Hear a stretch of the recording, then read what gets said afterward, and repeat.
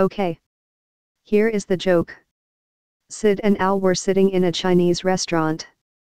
Sid, asked Al, are there any Jews in China? I don't know, Sid replied. Why don't we ask the waiter? When the waiter came by, Al asked him, Are there any Chinese Jews?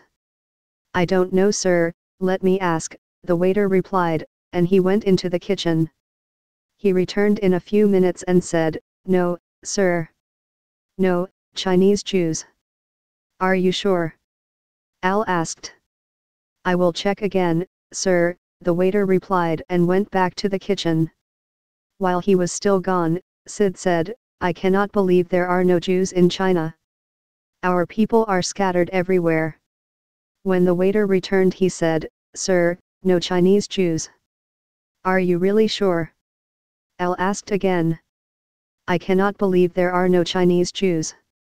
Sir, I ask everyone, the waiter replied exasperated. We have orange Jews, prune Jews, tomato Jews, and grape Jews, but we have no chin. Essay Jews. Ha ha.